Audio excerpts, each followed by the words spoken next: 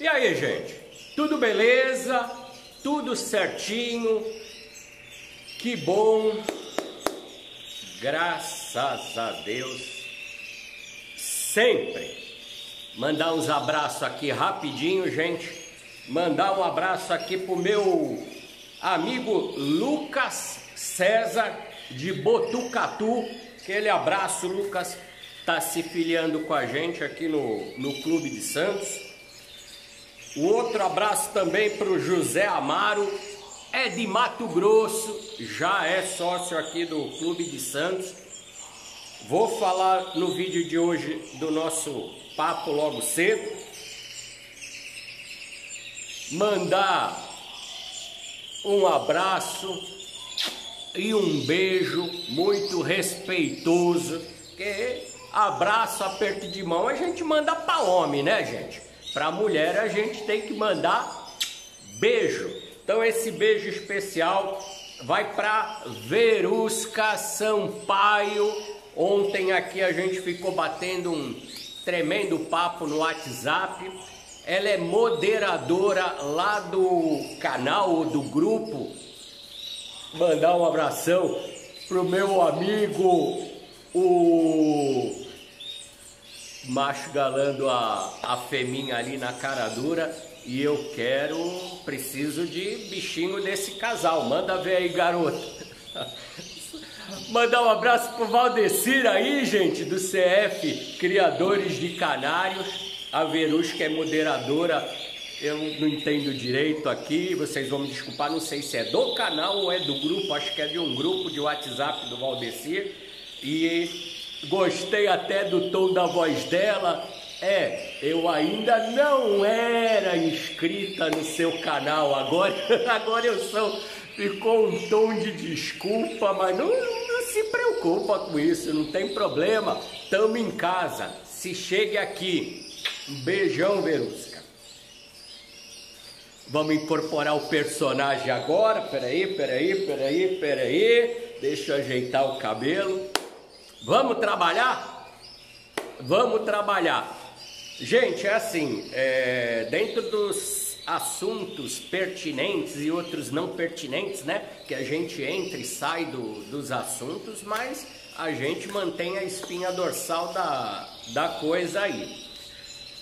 Ai, deixa eu respirar fundo e só falar assim, são meio dia em ponto agora e eu terminei de dar farinhada e eu fiquei aqui o tempo todo me martirizando, pensando em coisas que eu falaria ou não falaria nesse vídeo. E quem me conhece, quem realmente acompanha o canal, sabe que aqui a gente sempre quer somar e multiplicar. Jamais, jamais em tempo algum aqui é para subtrair ou para diminuir. Isso fique bem claro. Toda vez que eu dei nome das pessoas, foi para mandar um abraço, foi para mandar um incentivo, foi para ajudar alguém. Jamais em tempo algum vocês vão ver eu falar o nome, até poderia, porque me senti ofendido várias vezes, mas preferi ocultar o usuário do canal ao invés de expor o nome dessa pessoa publicamente por algum tipo de comentário que foi feito à minha pessoa é, de forma até maldosa, alguma coisa nesse sentido. E eu também não vou falar para não tornar essa pessoa famosa, né? Porque de repente a pessoa não tem luz própria, essa que é a grande realidade. Até lembrando de um vídeo de, de Rivaldo que ele falou isso.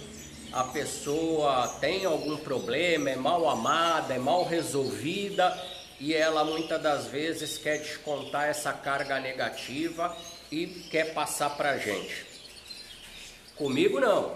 Aqui eu sei muito bem quem é que me acompanha, quem é que me protege, então pode ter certeza que essa carga negativa ela vai bater e voltar.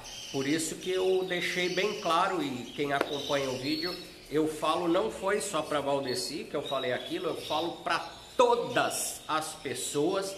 Eu desejo para você, para vocês, em dobro, tudo o que vocês desejam para mim.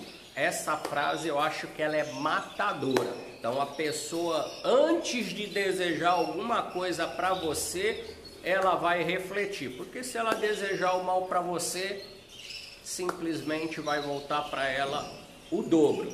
Então, se alguém em algum momento, pela brincadeira que foi feita lá no vídeo anterior, se sentiu ofendido, eu peço desculpas. E não é desculpas da boca para fora que eu não faço isso, tá? É desculpa de coração. Não fiz por mal.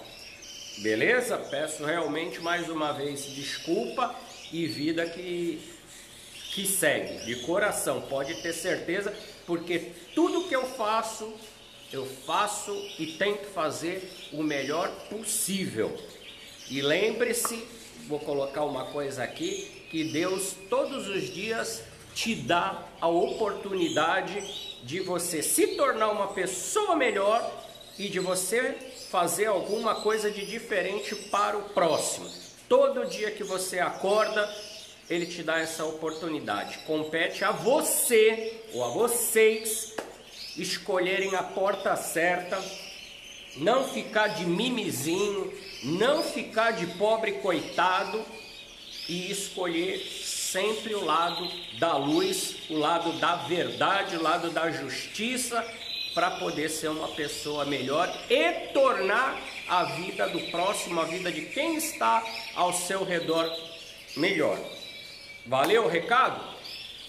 E pelo amor de Deus também, tá? Não vai lá ficar colocando nos comentários, nossa, o vídeo só começou lá com 6 minutos, com 10 minutos.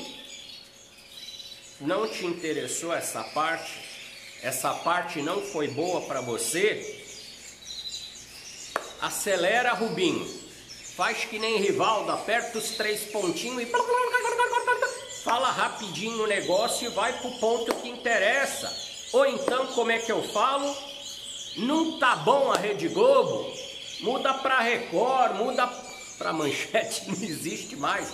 Eu tô me desdobrando aqui para tentar fazer, às vezes passo até por palhaço fazendo uma brincadeira para tornar a coisa um pouco mais leve, mais engraçada, entendeu? Então eu sei, nem Jesus Cristo conseguiu é, alegrar a vida de todo mundo, né? Agradar todo mundo. Essa besta que vos fala, com certeza não vai conseguir a mesma coisa e também não tenho a intenção de fazê-lo, beleza? Só um esclarecimento, um, um desabafo, porque eu poderia falar muito mais coisas, mas não, não vale a pena, beleza? Então vamos no vídeo propriamente dito, antes que alguém me pregue na cruz aí, né? É, o meu amigo José Amaro, tá, do Mato Grosso, ele logo cedo ele demonstrou uma, uma preocupação e eu já vi em alguns grupos e outras pessoas também vieram é, atrás da minha pessoa é, preocupada né? E mais ou menos a pergunta dele foi assim: Zé, ele, como ele é novo, entrou agora no, no, no nosso grupo, no nosso clube. Você falou, Zé Carlos, eu tenho que pagar alguma taxa, seja para a prefeitura, seja para governo, seja para alguém, para poder criar canário? Eu vou ter algum tipo de problema com criação de canário? Bom, a resposta que eu dei para ele é a seguinte: se você cria canário de cor, de porte, os seriniums canários, tá? Não vamos confundir com canário da terra. Nem vou falar canário do rei nessas coisas, mas é, como é que eu vou conseguir explicar para vocês? Canário da terra é aquele canário que está lá na natureza. Vamos colocar desse jeito, tá? Então você retirou o canário da natureza, beleza? esse você vai ter problema. Com fiscalização, com polícia, com alguma coisa. Beleza? Pássaros que você está retirando da mata, da natureza, da fauna brasileira, Isso você não pode fazer. Isso é contra a lei. Então você vai ter um certo problema. Ponto. Os seríneos canários, né? O canário que a gente está criando aqui, ele veio, canário veio das Ilhas Canárias. Onde fica as Ilhas Canárias? Fica lá em cima, lá faz parte de Portugal, lá daquela região das Europa, veio aí em 1900 e antigamente, como eu falo, e bolinha. Então ele não é originário da fauna brasileira. Beleza? Então você não tem que pagar nada. Você, a despesa que tu vai ter é para conforme fosse filial a algum clube para poder pedir anilhas. Esse clube tem que ser filiado à federação, à FOB, e você vai receber um número de associado que vai estar tá lá naquela anilhinha lá e você anilha seus pássaros para, vamos colocar assim, é, é, tirar teu medo de estar tá fazendo alguma coisa errada. Por isso, vai a explicação de quando o Clube de Santos abaixou o valor da anuidade, foi um dos motivos foi exatamente esse. Qual? Primeiro, incentivar o pequeno criador. Porque hoje tem tanta gente que assiste ao meu canal e de vários amigos e fica vendo, vendo, vendo, vendo. Que beleza e fica vendo, vendo, vendo e sente a vontade de ter um passarinho, mas muitas das vezes ele tem medo. Então precisa o esclarecimento. Ah, eu posso criar e não anilhar o meu passarinho? Pode. Você não pode ir lá na avicultura, na casa de ração, comprar um passarinho, não é filiado a lugar nenhum, você vai tirar filhotinho, não tem anilha, você não vai colocar anilha no seu passarinho. Isso vai causar problema para você? Não. Não. O problema vem depois. Depois como, Zé Carlos? Olha lá de novo, brincando, brincando. Depois como, Zé Carlos? A inveja do teu vizinho. Um exemplo. Uma pessoa mal amada, mal resolvida, que quer complicar a tua vida. Aí vai fazer uma denúncia. E aí vai de repente alguém lá bater na tua porta. Mas esse alguém também não tem conhecimento de causa suficiente, essa é a grande realidade. E não sabe muitas vezes a diferença, desculpa, mas é, vou escancarar para servir de exemplo, da diferença de um canário para um curió, ou de repente a diferença um canário para uma codorna. Não vou nem falar de um canário com uma galinha, mas mais ou menos essa é a grande realidade. Falta preparo para muita gente que vai fazer essa fiscalização. Vou dar um exemplo esdrúxulo, mas aconteceu aqui comigo. Eu criava um outro criador ali na, na rua de casa e era uma garagem, que eu guardava o, o carro da firma, e eu olhava, opa, essa garagem está grande demais, hein? Dá para pendurar umas gaiolinhas ali, outras gaiolinhas ali, foi o que foi feito. E a porta ali é encostado na, na testa, na testada da, da calçada. Qualquer um passa. E outro lá ainda a grade era estilo daquele de, antigo de porta de açougue, que era vazado, sabe como é que é? Com mata junta. Quer dizer, qualquer um Qualquer um passava e olhava lá para dentro. Agora você imagina a, capa a minha capacidade, né? Eu sou tão cara de pau que eu estou fazendo alguma coisa errada na cara da sociedade, onde qualquer um possa passar. O segundo problema foi da, daquele vídeo que foi o, o José Amaro viu, que quando eu cheguei também meio-dia por um acaso com um caminhão de mudança chapado de voadeira, mais de 15 voadeiras com um passarinho, a mulher chamou, a mulher chamou a polícia aqui para mim, por falta de, de preparo.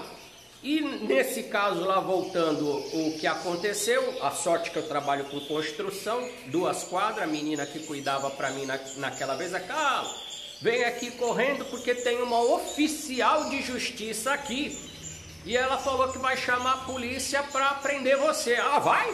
Espera aí que eu tô descendo da laje agora. Três minutos eu chego aí. Não deu outra. Em três minutos eu cheguei lá. Cadê, cadê, cadê, né? Já pronto para comprar uma, uma briga, uma confusão, né? Opa, cadê, cadê? Ué, ela não tá aí fora? Tem ninguém aqui fora.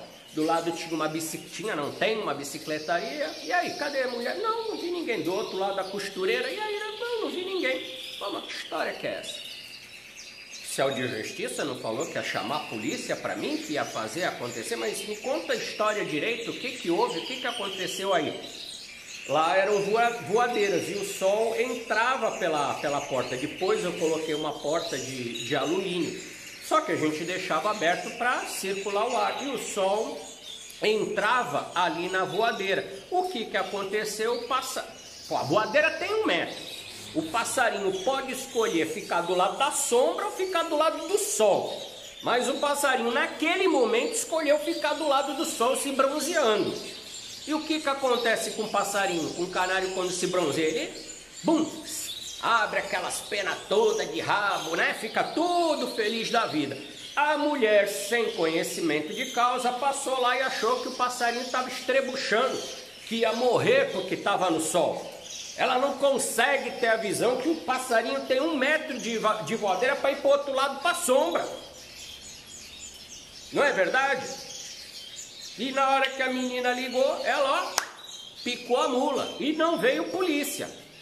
E numa outra vez, chegou lá, a menina me liga, Zé Carlos, vem aqui que a prefeitura está aqui, tem uma fiscal da prefeitura aqui. Ah, tem. Já tô chegando aí, opa, Boa tarde, boa tarde, boa tarde, sim. Ah, então, a gente veio aqui atender denúncia de maus tratos. É o maus tratos? Que maus tratos? Quais são os maus tratos? Tá faltando água aí para eles? Tá faltando comida para eles? A gaiola tá suja? O puleiro tá sujo? Quais são os maus tratos? Aí a fiscal vira para mim e fala: tem pássaro demais dentro da voadeira. Detalhe, detalhe da carinha. Ah, é, bebê? Tá bom. Quantos pássaros tem que ter dentro da voadeira? Ah, não sei. Espera aí. Se tu não sabe, o que é que tu tá fazendo aqui então? Tu não é fiscal? Sou. Maus tratos? Mostrar. E tu fala que tem passarinho demais. Você queria numa voadeira de um metro que eu colocasse um passarinho, é isso? Ah, não sei. Ô filha, deixa eu te falar o seguinte então. Tu volta lá, quando tu souber, quando tu tiver informação, tu volta aqui e me avisa. Oh, vamos fazer o seguinte, o Clube de Santos tem mais de não sei quantos anos, até hoje ele não tem uma sede. Fala lá com o pessoal lá da secretaria, do que que for, vocês vêm aqui, a gente faz um livro, faz um manual explicando de cada pássaro, o que é uma codorna, o que é uma galinha caipira para vocês, da onde que ela nasceu, quanto tempo ela vive. Vocês imprimem isso aí para poder sair como se fosse um catálogo por aí para seguir. E na contrapartida, aproveita, arranja um espaçozinho para gente aí. Prefeitura tem tantas casas por aí, a gente paga ali um, o IPTU, se for o caso, a água e a luz, nós, né, nós somos utilidade pública desde, sei lá, o clube é de 70, acho que de 83, se não falha a memória, fomos declarados utilidade pública, arranja um espaçozinho pra gente e a gente dá alguma coisa em contrapartida para vocês. Ó, nunca mais apareceram lá para me encher o saco. Veio outras vezes a polícia lá. Nós estamos em Santos, quem conhece Baixada Santista, o pessoal lá da, sei se é ambiental, florestal, da, é lá no Guarujá. Os caras têm que sair lá do Guarujá, não sei se atravessa o balsa vem pela Rio Santos, foram bater lá na minha porta. Não foi uma, não foi duas, não foi três. Já tinha feito amizade com todo mundo lá, falou, sargento, faz o seguinte, bota a viatura lá na porta e toca a sirene, o povo todo vir para a janela, e aí a gente fica batendo papo lá, porque todo mundo está esperando que o senhor me prenda. Se a gente ficar batendo papo, o povo vai falar, pô, mas se não prender o cara e o cara tá batendo papo com a polícia, é porque o cara não deve nada por ninguém. Essa gente só pode vir todo dia aqui fazer uma visita para mim. Só que de repente, o senhor estando aqui comigo, o senhor vai estar tá deixando de fazer uma coisa que realmente é necessário.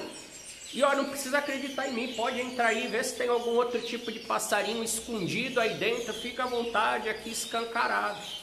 E agora um outro detalhe de tudo isso que já aconteceu comigo e serve para vocês, se bater algum tipo de fiscalização, aí de repente ameaçando levar seus canários, você stop só um segundinho. Hoje em dia todo mundo tem celular, não tem? Peça, filme.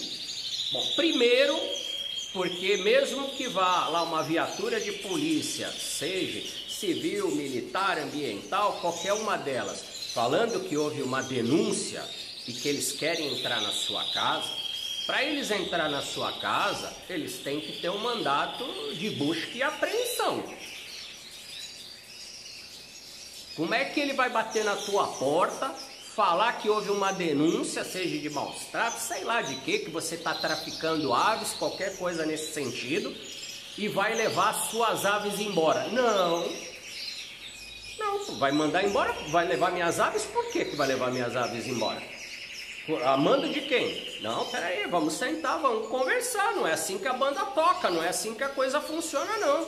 Vamos argumentar. Se eu quer me convencer de alguma coisa, eu tenho todo o direito de argumentar e tentar convencê-lo de outra coisa. Você vai levar minha ave? Não, você não vai levar minha ave. Vamos fazer o seguinte: eu vou consigo até o distrito policial e a gente conversa lá com o delegado de polícia, contrata um advogado, se for o caso, mas não é assim que a banda toca. O que eu crio aqui é devidamente legalizado. Eu sou filiado, vai no caso, ao Clube de Santos, por sua vez o Clube de Santos é filiado à Federação Ornitológica do Brasil, com sede lá em Itatiba. Eu não estou. O senhor quer entrar? Eu abro a porta para o senhor, não tem problema, e o senhor vai verificar que não falta comida, não falta água, a limpeza, a higiene, o canário não está sofrendo com calor, alguma coisa nesse sentido. Mas chegar aqui do nada e falar que vai levar meu canário, não vai não. Não é assim que a banda toca. E isso não é só pra gente, ah, você fala isso porque você é grande. Grande que? Só se for de barriga aqui, né, gente? E tá grande o negócio, né? Mas, ah, porque eu tenho muito bicho, ah, porque você tem. É verdade isso aí. Da outra vez que o, que o policial teve aqui, muita gente me perguntou, Zé Cala, mas como é que foi o desfecho? O que, que aconteceu? Não, o que, que aconteceu? Que nem eu estava sem camisa, como sempre, só que por sorte eu tinha aquela camisa azul do, do clube de canário, eu simplesmente vesti, mostrei, olha, não estava com a carteirinha no momento, né? sou filiado ao Clube de Santos, está aqui. Peguei, como é que o senhor prova que isso aqui é tudo legalizado? Ah, como é? Só um minutinho. Peguei o celular, Criador Santista. Tá vendo esse careca bonitão que tá aqui no YouTube? Careca bonitão aqui, sou eu. Tá, tá vendo essa camisa azul bonita aqui? Olha, é essa aqui. O senhor acha que eu ia estar fazendo alguma coisa errada, escancarando para o mundo? Não, né? O resultado policial, o senhor tem seu RG aqui, pegou um caderno daqueles espiral grosso, botou a data, pediu o RG também do motorista, estou anotando aqui só por anotar e tudo bem, tal, não esquenta a cabeça. Foi assim que terminou a minha história. A minha história eu sei que vai ajudar muita gente por aí a nível de Brasil, de cidades de repente pequenas ou maiores, pessoas que não tenham conhecimento, que tenham medo e de repente acha que bateu polícia lá na sua porta, calma. Calma, não é assim que a banda toca. O cara não vai chegar lá, vou fazer, vou acontecer. Calma. Cadê o mandato para entrar na minha casa? E vai levar os bichos por quê? Não, não é assim. Até porque, rapaz, se você deixar os caras levar seu bicho, e de repente na sua cidade não tem um local ideal. Acho que aqui na Baixada Santista, em Peruíbe, lá Peruíbe é um, vou dizer, mas é quase uns 100 quilômetros. Aí o pessoal de repente não tem estrutura para receber as suas aves, tem que ver o período. Já imaginou se eles chegam lá na tua época de criação com fêmea deitada, com filhote para alimentar? Não vai ser um crime isso? O que eles estão fazendo? Eles vão retirar a, a fêmea que está deitada no ninho, ou chocando o ovo, ou já alimentando o filhote. Porque o filhote não vai chegar lá, ele vai levar a tua gaiola, ou ele vai levar na gaiola dele? E aí, se a fêmea saiu do ninho, morreu o filhote. E aí, quem é que está praticando o crime? Somos nós? Ou são eles que mataram a vida do passarinho? Quando a gente fala de uma gaiola, se tivesse sem gaiola com filhote, dois, três, perdeu 200, 300 passarinhos, a culpa é, foi da gente? Ou foi de quem não tinha capacidade para poder saber o que é certo ou o que é errado? Aí chega lá, o que, que acontece? Eles não têm estrutura suficiente para guardar as aves. Passa um tempo, eles voltam a te procurar e te nomeiam fiel depositário. O que, que é fiel depositário? Você fica com as suas aves de volta, só que você tem que cuidar delas, coisa que tu já fazia, que era cuidar dos bichos, só que você fica impedido de vender as aves vão ficar com você até o final da tua vida e você vai ter que chegar e provar que a ave morreu. Sendo que nem os caras vão vir aqui fiscalizar. Pô, gente, quer fazer a coisa? Faz a coisa certa. Senta aí com as entidades realmente é, para poder discutir, conversar, colocar no papel para realmente fazer um sistema correto de fiscalização. Eu não estou contra já vou falar isso. Quem faz coisa errada tem que pagar sim pelo seu erro. Indiferente que seja na criação de, falar aves, nem canários, de qualquer tipo de ave, como de cachorro, como de gato, como cobra, sei lá o que você pensar. Fez coisa errada, tem que pagar. Eu ando do lado da justiça e da verdade, ponto final. Todo mundo sabe disso. Quando as brigas que eu arranjei as pessoas que não andam do meu lado foram, foram pessoas que prometeram e não cumpriram. E isso eu não aceito. Não tem jeito. Pessoa tem que ter palavra. Pessoa pode até perder, mas se a pessoa falou que vai fazer, eu cobro da pessoa. Então, o, a busca de conhecimento realmente tem que ser constante, não só por parte da gente, por parte das autoridades também. Agora vamos botar de repente uma pessoa que não sabe a diferença de um canário para um periquito e tratar todo mundo igual. Não é assim que funciona. Beleza, gente?